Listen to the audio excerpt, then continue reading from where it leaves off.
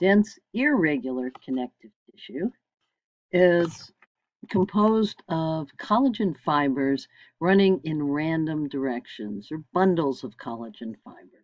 So a good place to see that is in skin. So I want to back out a little bit here. What we're looking at, woo, wrong way, um, is a little slice of skin. So here we go. This is the epidermis. This is the surface layer. Uh, right underneath that, we'll see a little bit of areolar tissue, and then we'll get into the dense irregular connective tissue. So here we go. Um, here's the basement membrane on that stratified squamous epithelium. This is keratinized, it's on the surface of the skin. And then deep to that is a small area uh, in from maybe here to here is areolar tissue. That looks a little different than the areolar tissue that's just laid out from the membrane. Just a different look, but you can still get a sense that, yeah, there's a lot of space in there. And you can see an occasional fibroblast uh, in that. And you can also see a lot of blood vessels. So areolar tissue, remember, is sort tends to surround blood vessels.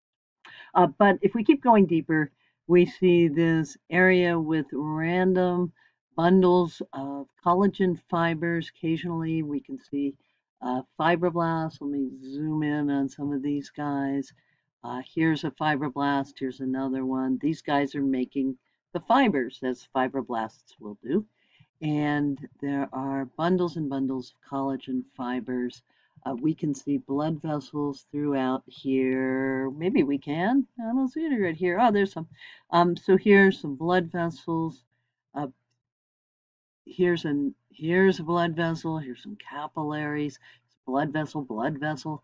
So this has this has a much better blood supply. There's a big old blood vessel. There's some up there um, than say dense regular connective tissue. And uh, the fibers are just going in kind of scattered uh, directions. And that is, oh, there's a there's a sebaceous gland ah, in the middle of the um, of the dermis of the skin.